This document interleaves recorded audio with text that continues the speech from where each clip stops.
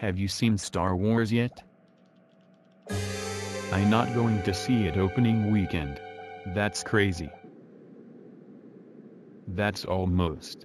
Standing in the middle of the desert without water crazy. Um, how did we get out here? I'm just making life more interesting. That didn't answer my question.